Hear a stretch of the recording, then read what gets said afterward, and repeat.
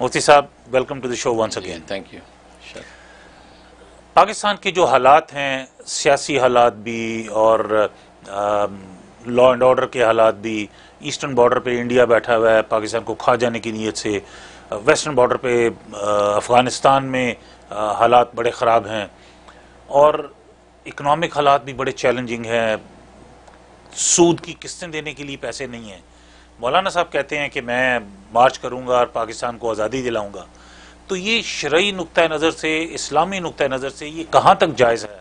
مولانا صاحب کا یہ سٹیپ بکیا ویڈیو دیکھنے سے پہلے ویڈیو کو لائک کریں رحم ٹی وی چینل کو سبسکرائب کریں اور بیل آئیکن پر کلک کریں۔ شکریہ۔ نحمدہ و نصلی علی رسول الکریم۔ اما بعد سب سے پہلے میں اپریشیٹ کروں گا کہ آپ نے دو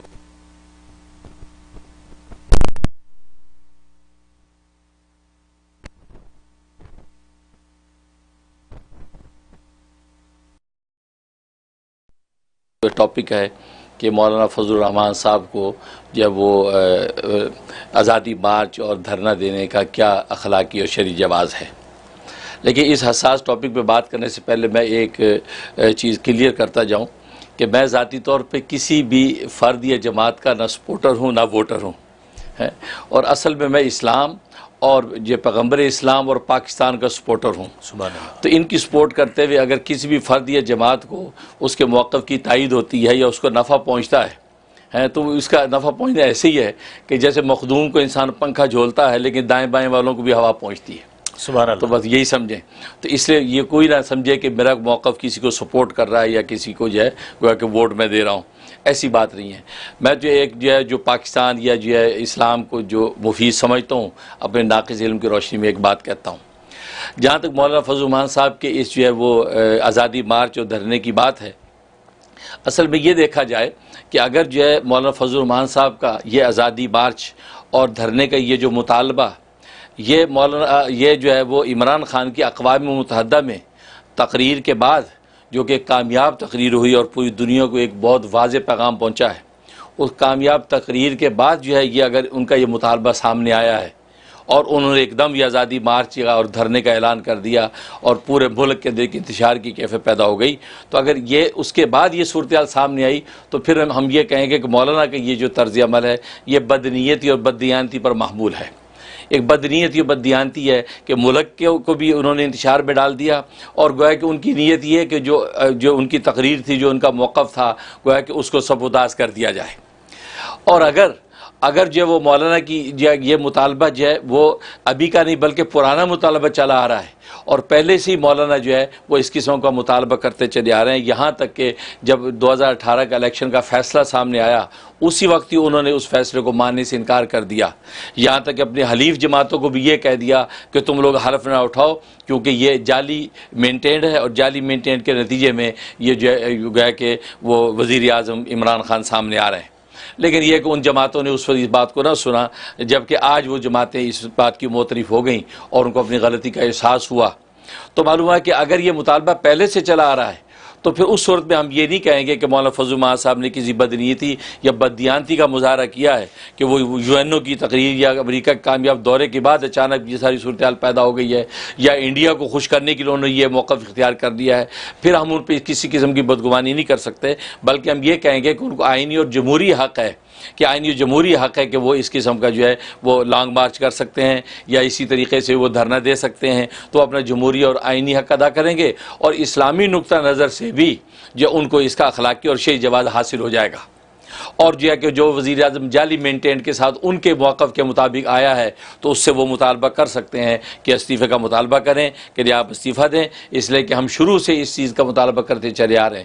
تو ہم پھر یہ کہیں گے کہ مولانا کہ اب کی جو اسٹریٹجی ہے، یہ گویا کہ ان کی جو شروع دو ہزار اٹھارہ سے جو انہوں نے انکار کیا تھا ان نتائج کو تسلیم کرنے سے، اس اسٹریٹجی کا ایک اگلا قدم ہے کہ انہوں نے اگلا قدم ہی اٹھایا، کیونکہ پورے سال کے اندر وہ مختلف موقف ہے مختلف انداز سے اختلاف رائے کرتے رہے۔ اور وہ اپنی جو کوششیں جاری رکھیں اور اب انہوں نے اگلا سٹیپ اٹھایا کہ اب ہم آزادی مارچ کی شکل میں اور دھرنے کی شکل میں ہم جو ہے دارالخلافہ پہنچیں گے تاکہ اب جو ہے وہ دودھ کا دودھ پانی کا پانی ہونا چاہیے اور گویا کہ ان کے موقف کے مطابق کہ یہ جو جعلی وزیر اعظم ہمیں تسلیم نہیں ہے تو اس صورت میں ہم ان پر کوئی بدگمانی نہیں کریں گے اور جب ہم تجزیہ کرتے ہیں اور ہم جب وہ تاریخ اٹھا کے دیکھتے ہیں تو مولانا کا یہ موقف آج کا نہیں ہے۔ یہ نیا نہیں ہے کہ آج اچانک انہوں نے یہ چیز کھڑی کر دی ہو کہ جس کی وجہ سے حالات پیدا ہو گئے، بلکہ مولانا شروع سے ہی اس بات کا اظہار کرتے آئے ہیں کہ مجھے جو ہروایا گیا ہے، وہ جعلی مینٹین، اسی طریقے سے جعلی طریقے سے یہ جو ہے سارا سبوتاز کیا گیا۔ مخصوص اداروں نے یہ سارا یہ شب خون مارا ہے، لہٰذا ہم اس کو تسلیم نہیں کرتے۔ یہاں تک کہ جیسے میں نے بتایا کہ حلیف جماعتوں کو پی ایم ایل این اور دوسروں کو بھی کہتے رہے کہ آپ حلف نہ اٹھائیں، کیونکہ اس کو جو ہے وہ یہ سارا جعلی مینٹینڈ ہے، جس کے مطلب پری پلان یہ سب ہو رہا ہے۔ تو چونکہ پہلے سے کرتے آ رہے ہیں، لہٰذا اس صورت میں ہم کہیں گے ان کا یہ جمہوری اور آئینی حق بھی ہے اور اسلامی نقطہ نظر سے بھی ان کا اپنا موقع پیش کرنے میں ان کو کسی قسم کی کوئی جو ہے وہ قدغن نہیں لگائی جائے گی اور وہ اپنا مطالبہ رکھ سکتے ہیں۔ اب حکومت وقت پر ہے کہ حکومت وقت ان کے مطالبوں کو کس انداز سے پورا کرتے ہیں، حکومت وقت جو ہے ان کی شکایت کو کس طریقے سے دور کرتے ہیں یا جو مجاز ادارے ہیں، وہ ادارے جو اس کے اندر جو انٹرفیرنس کر کے اس کو آپس میں جو ہے کیسا ایک سولوشن نکالتے ہیں اب یہ ان کا کام ہے۔ اور مزے کی بات یہ ہے کہ اصل میں اس طرح کے لانگ مارچ یہ پہلی حکومتیں کرتی چلی آئی ہیں۔ بے نظیر نے اپنے دور میں کیا، نواز شریف نے اپنے دور میں کیا۔ یہاں تک کہ دھرنے کا جو آغاز ہے، یہ تو عمران خان صاحب نے خود ہی شروع کیا۔ اور اس وقت جو ہے مولانا فضومان صاحب نے یہ بات کہی تھی کہ عمران خان صاحب نے یہ دھرنے کا جو کہ جو ریت ڈالی ہے، یہ ریت خطرناک ہے کیونکہ یہ ریت آگے چل سکتی ہے۔ اور وہی ہوا۔ اور پھر یہ کہ میں عمران خان صاحب نے جب یہ دھرنے کا جو ڈالا تھا، وہ تو ایک بھاری مینٹینڈ سے ایک جو وزیر اعظم آیا تھا، وہ اور جینون وزیر اعظم جو تھا، اس کے خلاف گویا کہ یہ سارا انہوں نے دھرنا کیا تھا۔ تو اس لیے جو ہے، وہ مولانا نے اس وقت کہا تھا کہ یہ ریت اچھی نہیں۔ تو گویا کہ تاریخ اپنے آپ کو دہرا رہی ہے کہ عمران خان صاحب نے جس چیز کی بنیاد ڈالی، آج وہی چیز ان کے سامنے آ رہی ہے۔ تو وہ پنجابی میں کہتے ہیں نا کہ ہتھاں دی دیتیاں دنداں نہ کھولنی پیدیاں نے۔ تو بات وہی ہے، تو عمران خان صاحب جو کر بیٹھے ہیں، اب وہی چیز ان کے سامنے آ رہی ہے۔ لیکن اب حکومت وقت جب بالکل صاف اور سالڈ ہے، تو اس کو گھبرانا نہیں چاہیے اور وہ جو اس کو ٹیکل کرے اور جو بھی جو ہے وسائل اس کو بروئی کار لا کے وہ مولانا فضلمان صاحب کی جو مطالبات ہیں، آئینی اور جمہوری طریقے سے اس کو پورا کریں۔ اور یہی جو ہے جمہوریت کی شان ہے، کیونکہ جمہوریت کی یہی خوبصورتی ہے، جمہوریت میں یہی کچھ ہوتا ہے۔ کہ کبھی کوئی کھڑا ہو گیا، کبھی کوئی کھڑا ہو گیا۔ لہٰذا اب جو ہے، کمال حکومت کا ہے کہ اب دیکھیں حکومت میں کتنے تپڑ ہیں کہ وہ اس چیز کو جو ٹیکل کرتی ہے۔ ویسے تو by the way I'm sure آپ نے بھی سنا ہوگا کہ پرائم منسٹر صاحب نے آفر کیا ہے کہ میں آپ کو کنٹینر بھی دوں گا فری میں اور آپ کو بریانی بھی دوں گا فری میں. تو کم از کم کچھ تو انہوں نے کوآپریٹ کیا ہے نا دھرنے والوں کے ساتھ. لیکن مفتی صاحب آپ نے فرمایا کہ چونکہ ان کا مطالبہ مولانا کا مطالبہ پچھلے سال سے چلا آ رہا ہے اس لیے ان کا شرعی اور اخلاقی حق بنتا ہے۔ لیکن مجھے یہ بتائیے کہ دو سو پچاس سیٹیں لینے والا پرائم منسٹر اس کے خلاف اس کو ریزائن کرنے کی ان کو بلیک میلنگ کر رہے ہیں یہ مولانا صاحب۔ وہ مولانا صاحب جن کی کبھی بھی تین سے زیادہ سیٹیں نہیں ہوئیں اور اس دفعہ تو وہ تین بھی نہیں ملی صحیح۔ اپنی سیٹ ہار جانے والا بندہ زندگی بھر اس نے کبھی جمہوریت کے لیے کوئی کام نہیں کیا اپنی سیٹ پہلی دفعہ ہارے ہیں اور پہلی دفعہ ان کو جمہوریت خطرے میں نظر آ گئی۔ یہ کہاں تک جائز ہے؟ یہ اچھا پوائنٹ آپ نے اٹھایا۔ اصل میں بات یہ کہ شیر پنجرے میں خطرناک نہیں ہوتا پنجرے سے باہر خطرناک ہوتا ہے۔ مولانا اسمبلی کے اندر اگر ہوتے وہ اتنے خطرناک نہیں تھے۔ یہ اسمبلی سے باہر جتنے خطرناک ہیں۔ بس یہی، کیونکہ آپ یہ، کیونکہ آپ کو تو ووٹ بینک جو سسٹم وہ ایسا ہی ہے کہ اگر ایک ہزار، ایک بندے نے دو ہزار ووٹ لیے، دوسرے نے دو ہزار دو ووٹ لے لیے، تو دو ووٹ والا جیت جاتا ہے۔ حالانکہ دوسرے کے پاس دو ہزار ووٹ ہیں، لیکن کہنے کو وہ ہار گیا ہے، لیکن ووٹ اس کے پاس دو ہزار ہیں، اس کے پاس صرف دو زیادہ ہیں اور وہ سیٹ لے جاتا ہے۔ اس لیے جمہوریت کے جو فیصلے ہیں، وہ سے گدے گھوڑے نمبرنگ کی گیم ہے، اس کا کوئی اعتبار نہیں ہے۔ ایک کو سو ووٹ ملے، ایک سو ایک مل گئے، ایک سو ایک والا جیت گیا، پریزیڈنٹ بن گیا، حالانکہ دوسرا والا بھی اس کے قریب ہی ہے۔ اس لیے یہ کہنا کہ مولانا ہار گئے، ان کی حیثیت نہیں، یہ ہم اس لیے نہیں کہہ سکتے، کیونکہ جمہوریت کی نمبرنگ کی گیم میں یہی ہوتا ہے۔ اور دوسری بات یہ کہ مولانا کی جو سیاسی بصیرت، جو ان کی شخصیت ہے، اصل میں میں یہ سمجھتا ہوں کہ عمران خان صاحب نے ان کو انالائز کرنے میں غلطی کی ہے۔ ان کو ہر دور میں ہر بندے نے انالائز کر لیا۔ لیکن عمران خان صاحب نے کہ عمران خان صاحب بھی پٹھان ہے، وہ بھی پٹھان ہے۔ تو جو جذبے نے عمران خان صاحب نے بھی نہیں ان کو پہچانا۔ حالانکہ شیر پنجرے کے اندر اتنا خطرناک نہیں تھا، اسمبلی میں ایک سیٹ لے کے مولانا اندر رہتے، تو اس پارلیمنٹ کے فلور پہ ہی بولتے رہتے، لیکن سڑکوں پہ آنے کا ان کو جواز نہ بنتا۔ لیکن آپ نے کوئی ایسے نتائج سامنے کیے کہ نتیجہ کہ مولانا کو بالکل کھڈے رہنے لگایا، تو پھر وہ تو شیر بفر گیا۔ ہے اور بفر کے پھر آپ نے دیکھا کہ پورے سال میں مولانا نے جب وہ ختم نبوت کے حوالے سے پندرہ ملین مارچ نکالے اور پوری دنیا نے دیکھا کہ کتنی بڑی دنیا اور یہ صاحب بصیر حکمران کا یہ کمال ہوتا ہے کہ ان مارچ ملینوں کے ٹائم میں عمران خان کو چاہیے تھا کہ وہ فوراً فائنڈ آؤٹ کرتے کہ بھائی مولانا سے رابطہ کرو، مولانا کا کیا مطالبہ ہے، کیا مسئلہ ہے؟ لیکن عمران خان صاحب نے اپنی اپریل کی، دو ہزار انیس کی اپریل کی تقریر کے اندر ہی اتنی چھوٹی بات کی، کیونکہ عمران خان صاحب کو اس حوالے میں کہ وہ بولنا کیا چاہتے، اس میں میچورٹی کی ضرورت ہے۔ اور یہ بات میں پہلے پروگراموں بھی بھی کہہ چکا ہوں کہ وہ بات کرنے، آپ کو یاد ہوگا، پہلا دورہ پہلا دورہ امریکہ کا جو عمران خان کا ہوا، تو آپ کو پتا عمران خان نے جو بیان کیا، اس میں پورے بیان میں کسی کا نام نہیں لیا، مولانا فضل الرحمان صاحب کا نام لیا۔ اب آپ دیکھیں، یہ وزیر اعظم کو یہ زیب نہیں دیتا اور میں نے اس وقت بھی کہا تھا کہ وزیر اعظم جو ہے، وہ اب فضل الرحمان صاحب کا بھی وزیر اعظم ہے۔ آپ اس کو اپنا مد مقابل کیوں سمجھ رہے ہیں؟ کیونکہ جب آپ وزیر اعظم بن گئے تو آپ فضل الرحمان بھی آپ کی رعایا ہے۔ جیسے جو ہے، وہ نعیم الحق آپ کی رعایا ہے، یا دوسرا کوئی آپ کی رعایا فضل الرحمان بھی آپ کی رعایا ہے، جیسے دوسری رعایا کو آپ ڈگنیٹی دیں گے۔ آپ مولانا فضل کو بھی وہ ڈگنیٹی دیں۔ اب نتیجہ کیا ہوا کہ انہوں نے یہاں دیار کفر میں آ کر بھی مولانا الرحمان کا باقاعدہ نام لیا۔ تو نتیجہ یہ کہ اس سے کیا ہوا؟ ان کا جو اونچا قد جو عمران خان کا وہ چھوٹا ہوا، بڑا نہیں ہوا۔ پھر اپریل کی تقریر جو انہوں نے کی، اپریل کی تقریر کے اندر انہوں نے جو ایک اتنی چھوٹے گھٹیا انداز سے یہ بات کہی کہ وہ ایک شخص ہے جو بارہواں کھلاڑی ہے، جس کی وکٹ گر گئی ہے۔ اور وہ وہ اس کا کیا ہے؟ وہ اس کو ایک کشمیر کمیٹی کی چیئرمینی دے دو اور اس کو جو ہے وہ دے دو۔ کیا کہتا ہے ڈیزل کے ڈیزل کے پرمٹ دے دو، وہ اتنا کہتا ہے چھوٹا آدمی کے ساتھ چل پڑے گا۔ اب دیکھو، یہ یہ وزیر اعظم کو یہ الفاظ یہ نہیں دیتے۔ تو اس لیے عمران خان صاحب کو اپنے کلام میں میچورٹی لانی چاہیے۔ ان کو اب وہ وزیر اعظم پرائم منسٹر ہیں۔ وہ اب جو کرکٹ بوائے نہیں ہیں کہ وہ جب جس طرح چاہے جس کی جو دھوتی اتار دیں۔ تو یہ اصل میں یہ ساری چیزیں اگلے سامنے والے کو جب وہ کیا کہتے ہیں نا، جوش میں لاتی ہیں، تکلیف میں لاتی ہیں۔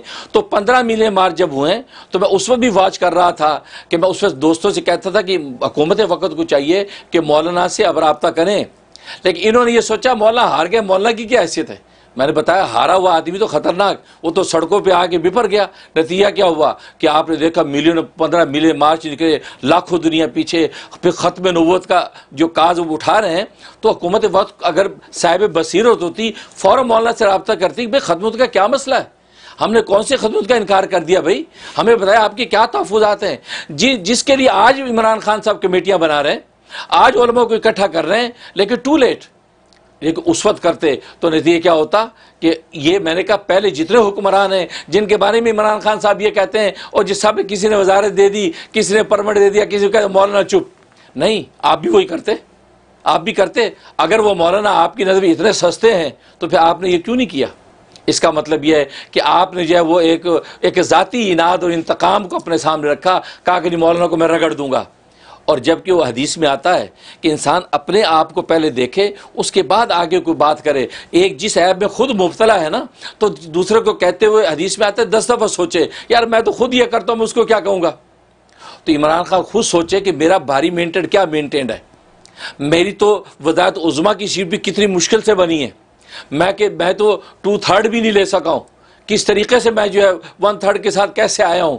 تو آپ اپنی اسٹرینتھ جانتے ہیں اور پھر آپ جو اتنی بڑھ کے مارتے ہیں۔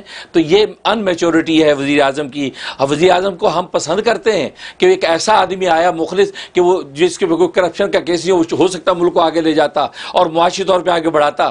لیکن آپ نے دیکھا کہ اس نے، انہوں نے بصیرت سے کام نہیں لیا۔ اور یہاں تک کہ مزے کی بات، آپ وہ میری پرانی ویڈیو اٹھا کے دیکھ لیں، ہم نے پروگرام کیا تھا۔ میں نے یہ کہا تھا کہ عمران خان صاحب کو اب صرف تین کام کرنے چاہیے۔ زیادہ کام نہ کریں۔ تین کام کیا، ایک یہ کام کریں کہ مدرسوں پہ ہاتھ نہ ڈالیں، مدرسوں کو نہ چھیڑیں۔ وہ جناب مشرف کے بقور یہ اتنی بڑی این جی اوز ہے کہ پچیس لاکھ اسٹوڈنٹوں کو صبح شام کھانا کھلاتی، پڑھاتی ہے۔ ہم پر کوئی بوجھ نہیں ہے، ٹھیک؟ اور دوسرا دوسرا میں نے کہا تھا کہ یہ تین ڈیم تین ڈیم اس بنا بنا جائیں۔ یہ کمٹمنٹ کر لیں قوم سے، میں تین ڈیم بناؤں گا۔ جیسے شوکت خانہ بنانے کی کمٹمنٹ کرتے ہو، بنا جاتے ہیں، ایسے ہوگا کہ ملک کے لیے تین ڈیم بناؤں گا۔ یہ دوسرا، اور تیسرا جو کرپشن کے حوالے سے جو ان کا تھا، وہ نیب کے حوالے کرتے اور نیب اپنے طریقے چلاتی رہتی۔ بس، یہ تین کام کرتے، لیکن عمران خان نے کیا کیا؟ انہوں نے تو غریبوں کے ڈھابے بھی گرا دیے۔ وہ لوگ جو اپنی روٹی کا انضام خود ہی کر رہے تھے، انہوں نے تجاوزات کے چکر میں، آج کراچی میں آپ جاتے دیکھیں، جو تجاوزات کے چکر میں کروڑوں اربوں کی بلڈنگیں گری پڑی ہیں، وہ ملبہ ابھی تک پڑا ہے۔ تو لہذا عمران خان صاحب جو ہر جگہ فوراً ہاتھ مارا نا، وہ تیز رفتاری دکھائی ہے، یہ ان کے گلے پڑ گئی ہے۔ نتیجہ ہے کہ آج معاشی ابتری کا عالم یہ ہے کہ غریب آدمی رو رہا ہے اور وہ کہتے ہیں یار نواشی، شباشی بھی چنگا سی کہ جو روٹی نہ کھاندے سی اسی، یہ تو روٹی بھی کھو لی ہے ہر گل تے ٹیکس لاتا، ہر گل تے ٹیکس لاتا، لوگ رو رہے ہیں۔ تو لہذا مولانا کو تو ظاہر ان کی تو پہلے سے یہ اسٹریٹجی تھی، ان کو موقع ملا اور آج دنیا ان کے ساتھ ہے یہ ہے۔ مفتی صاحب، آپ نے ذکر فرمایا مولانا صاحب کے ریفرنس سے کشمیر کمیٹی کا۔ مولانا صاحب پندرہ سال کشمیر کمیٹی کے ممبر ہے انہوں نے ایک بھی بیان مجھے دکھا دیجیے کہیں کشمیر پہ ہونے والے مظالم کا، انڈیا کے، بھارت کے مظالم کا ذکر کیا ہو، ان کے ساتھ خلاف کوئی بیان دیا ہو۔ ابھی بھی جو ظلم کی انتہا ہو گئی، پانچ اگست لے کے آج تک، آج سترواں دن ہو گیا، مفتی، انہوں نے مولانا صاحب نے آج تک اس کو کنڈیم نہیں کیا۔ تو یہ کس طرح کی پرفارمنس ہے ان کی؟ کس چیز کے بارے میں اتنا اچھل رہے ہیں؟ کیوں دیا جائے ان کو کشمیر کمیٹی کی چیئرمین شپ بہت اچھا سوال کیا آپ نے۔ مجھے یہ بتایا جب تک کشمیر کمیٹی کی چیئرمین رہے تھری سیونٹی آرٹیکل ریووک نہیں ہوا۔ تھرٹی فائیو ریووک نہیں ہوا۔ اور ستر دن کا کرفیو نہیں لگا۔ لوگ بھوکے اور پیاس سے نہیں مرے۔ لوگوں کی دوائیں اور کھانے بند نہیں ہوئے۔ لوگ نارمل زندگی گزارتے ہی رہے لیکن کسی کے مجال نہیں، آرٹیکل لیکن جس وقت آپ نے ان کو ہٹایا ہے اس کا مطلب ہے کیا بات تھی؟ یہ آپ کو پتہ نہیں کہ وہ خطے کے اندر وہ وہ اس چیز کو بھانپتے ہیں کہ بین الاقوامی دنیا میں ہماری کشمیر کمیٹی کا مطالبہ اتنا کمزور ہے کہ یو ہی یو ہی آپ کے ساتھ نہیں ہے۔ اس نے کہہ دیا کہ آپ کا، ان کا انٹرنل معاملہ ہے۔ سعودیہ نے آپ کا ساتھ نہیں دیا۔ تو مولانا جس طریقے سے جیسے مرغی پروں کے نیچے لے کے بیٹھی تھی چوزوں کو، وہ چپ کر کے لے کے بیٹھے تھے، آپ کا کشمیر سیف تھا۔ لیکن جیسے ہی مولانا ہٹے ہیں اور آپ نے اس کا وویلا کیا ہے اور آپ نے یہاں پر آ کے اور یہ مطالبہ کیا کشمیر چاہیے، تو کیا نتیجہ نکلا؟ آپ یو این او میں آپ نے شور مچا دیا، کیا بنا؟ آج ستر اسی دن ہو گئے ہیں، کرفیو نہیں اٹھا۔ یو این او نے کہہ دیا کرفیو اٹھا، کرفیو نہیں اٹھا۔ اور تھری سیونٹی ریووک ہو گیا، thirty five thirty five A revoke ہو گیا۔ کوئی مائکل روکنے والا ہے؟ تو مولانا تو آپ کے لیے باعث برکت تھے کہ کشمیر اس برے حال میں نہیں تھا جو اس برے میں اب آ گیا ہے جس میں آپ بڑک مار کے آپ نے کیا کر لیا؟ آپ اپنے اسلامی ملکوں کو قائل نہیں کر سکے۔ تو مولانا جیسا سیاسی بجے رکھنے والا بندہ یہ بات جانتا تھا کہ کشمیر کے مسئلے کو ابھی قائل کرنا آسان نہیں ہے۔ لہذا بہتر یہ کہ جس طرح چل رہا ابھی سنبھالو، اپنی کو اسٹرینتھ پیدا کرو، اپنے وقت کا انتظار کرو۔ نتیجہ یہ ہوا کہ وہ یہ یہ ان کی پرفارمنس تھی کہ تھری سیونٹی ریووک نہیں ہوا۔ اس لیے آج آپ نے کیا پرفارمنس دکھا دی؟ فور تھری سیونٹی ریووک ہو گیا۔ اسی سب